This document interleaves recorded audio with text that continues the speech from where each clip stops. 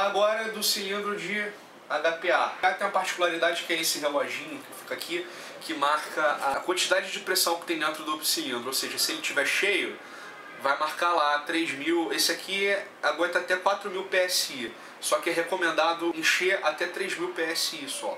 O HPA é um gás que tem muito pouca variação, a variação dele é quase nula, é um excelente gás, é um cilindro muito mais caro, você vê, você paga na, na, na, em média nesse cilindro de CO2 aqui de 20 OZ, você paga na faixa de 90 a 110 reais.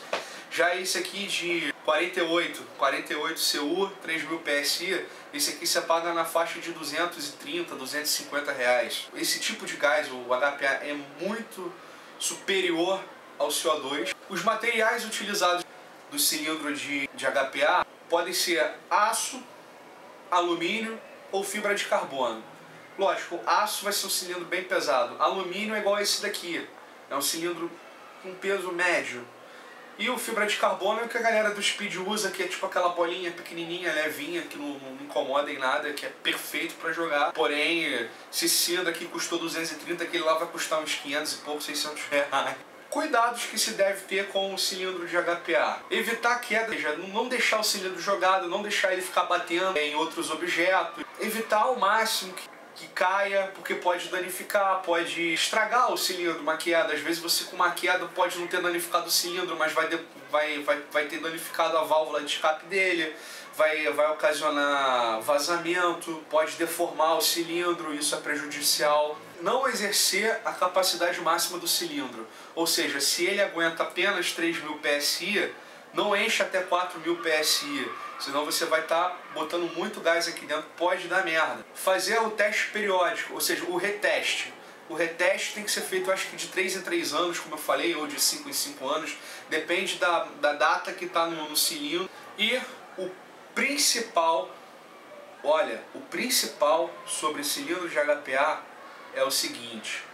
Você, em hipótese alguma, pode colocar óleo no cilindro.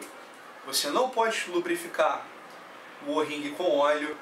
Você não pode colocar óleo dentro do dessa porra aqui. Você não pode colocar óleo no remote.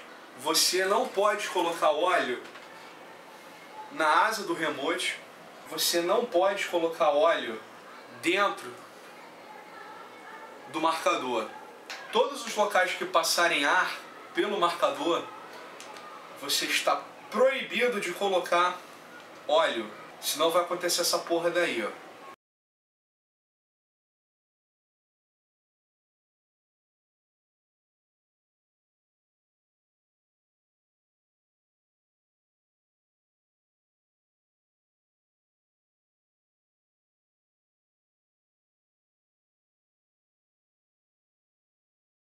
Então, por que, que aconteceu essa explosão aí do, do, do cilindro, do marcador? Quando se mistura óleo com HPA, acontece uma combustão instantânea, a porra do, do cilindro estoura, o marcador estoura, tudo ali dá merda. Se isso acontecer, as consequências são gravíssimas, como vocês vão ver nessas fotos aí.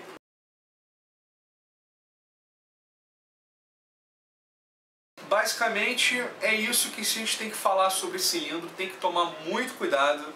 O paintball é um esporte, é uma brincadeira. Nunca armazene o cilindro em local quente. Se você deixar o cilindro de CO2 no sol, ele pode estourar. Se você deixar o cilindro de CO2 de HPA no sol, ele pode vir a estourar também. Porque a gente tem que lembrar que ali dentro são gases, são moléculas que estão ali no calor, elas tendem a se expandir.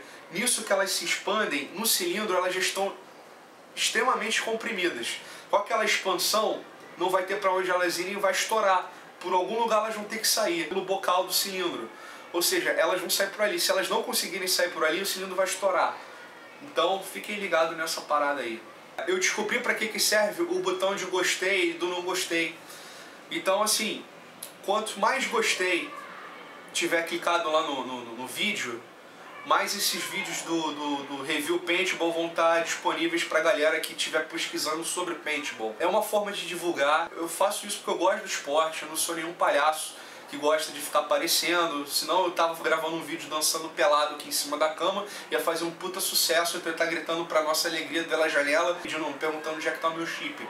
Enfim, falando do meu mamilo, então podia estar fazendo um monte de merda, mas não. Eu tô falando sobre o paintball, é bom a gente levar em consideração essa, essa questão do gostei ou do não gostei, eu não sei qual é o lado que tá aqui, aqui, pra cá, pra cima, sei lá, enfim.